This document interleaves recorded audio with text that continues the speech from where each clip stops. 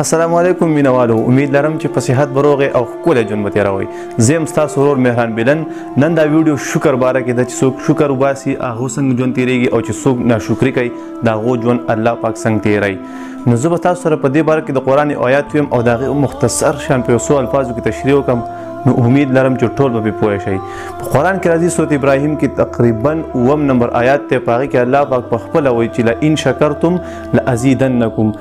نو چې کله تاسو شکر وباسئ نو الله وایي زره زیات به کوم او چې کله ناشکری کوئ نو زه به د لاغشته معلوم ختم کم نو معلومیږي دینه چې کلم انسان په هر حالات کې اغل شکر پکار دی که هغه کمزور او که غریبي او که هغه مالدار د دې پورې کله پکې یو غټ سټیج ته ورسېو کو تر ډاون لیول ته راولي نو په دې مونږ شکر پکار دی ځکه چې الله پاک یو ښه انجینیر دی هغه هر څه په خپل ډیزاین کوي په دې کې د انسانیت څه کار دی که څوک غریب پیدا کوي که څوک مالدار چاره دا نه دي په کار چې پلان کې غریب مالدار پیدا کو زه غریب پیدا کړی مدا ولی الله پاک په پیدایش کې په کارونو کې موږ له دا نه دي په کار نه پکې خبرې کول په کار دي نه سا یو ته وینا کول بل ته او په خپل ژوند باندې خپه کېدل دا نه دي په کار موسی علیه السلام یو ورځ په لاره تېرېدو نو یو کس ولیدو هغه مختصر شان سټوري ده موسی علیه السلام دا کس یو غډیر زیات مالدار و کېدای شي تاسو سټوري اورېدلې می نو موسی علیه السلام ته وی چې ته خو اسیم د رب والزی ملاقات وسره کیږي ملاویږي وسره رب ته زما یو دا خبره وکړه چې مال نور مال نه راکړي داسې خلک هم په دنیا کې شته چې هغه الله ورکوي او هغه چې زما نور نه دی پکار زما د نور ضرورت نشته نو موسی عليه السلام ته ټیک دستا جواب وسو ورسوم بیا چې لږ مخکې لاړې نو اد یو کس بل ناس هغه په شګو کې سره به خپل عورت مورت پټ کړو هغه پرز چې کوم او نور هغه ښکارېدو باډي په جسم یې هیڅ قسم کپړه نه وه نو هغه موسی علیه السلام ته وی چې ته رب ته وایا چې ما له سرا کې زما اسم نشته زما په جسم کې زما په کور کې نه سمال شته نه سشته د دې پورې زما په جسم کپړې نشته زما هر څه ښکاری رب ته صرف زما یو دا التجا وکا زما دا ریکویسټ وته وکا چې ما له سرا کې زیوا غوندم موسی علی السلام وی ټیک ده چې کله موسی علی السلام رب ته مخاطب شو رب ته چې ستا بندگان زمانه یو دوه سوال کړي و چې تا په زمونږ رب ته ورسي موسی علی السلام ته وی چې یا رب یو پلان کې بندو دغه سره مال ډیر زیات وو هغه وی چې رب توای زما نور نه دی پکار مال نور مال نه راکې زه حفاظت نشم کولای زما په ضرورت کې ناراضي رب ورته په جواب کې وی چې موسی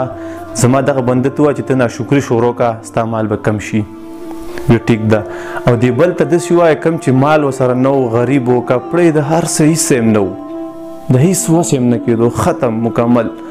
هغه ته داسې وایه چې ته زما په سمې چې درکړې په دقې شکر وباسه موسی علی السلام ویسای چې کله موسی علی السلام واپس رااله د کسر ملاو شو وی رب سره جواب درکو زما مبارکي زما مال ولې زیاتیږي زما نور نه دی پکار موسی وته وی علیه الصلاۃ والسلام چې رب وی چې د ما دی بنده ته وای چې د تعالی چې صدر کوم په دې ته ناشکری کوو نو ستاسو مال به کم شي او که شکر دې سودا نور هم سیوا شي هغه بنده ورته وایي چې ما له رب راکړی زه په دې کې هم ناشکري کوم دا زمانه نشي کېدی هغه ته دغه شرط دی نور بل سلار نشته ته ناشکري کوه مال به دې کم شي وی صحیح ده ټیک ده چې بل له ورغلی و هغه ته رب د تسوي وی رب ما ته وی چې دې بنده ته وایي چې تعالی ما صدر کړي په دغه شکر وباسه نو مال به دې سیوا کېږي یا به ته څه میلاو شي ژوند به دې ښه شي هغه ته چې ما رب سره کړی دا کوم چې زه په یو ځای کې ناس یم دا ما یو شګې ځان راتاو کړی خپل جسم مې بند کړی هغه ټایم دی پاس کیږي تیریږي زما څه دي زه په څه شکر وباسم مطلب هغه ناشکري کوله نو هغه وی چې ما رب سره کړی ما په شکر سره نو په دې کې ټایم تیریدو یو سیلی رااله او دا غنه هغه شګم ویوړه کوم چې دا پټ کړی و نو د دې ریزلټ سو چې کلم ناشکری کې الله پاک چې تعالی صدر کړی دا رب کوي بل څوک نشته چې تعالی درکې په هر حالات کې که بیمارې او کومالدارې که صحتمند دې که هر څنګه د رب شکر وباسه